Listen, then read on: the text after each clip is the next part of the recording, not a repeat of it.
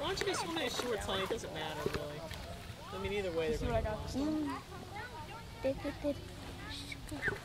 Jerky chew.